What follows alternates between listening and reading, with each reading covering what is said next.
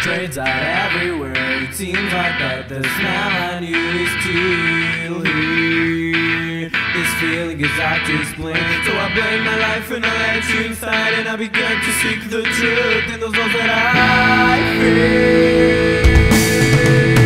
feel.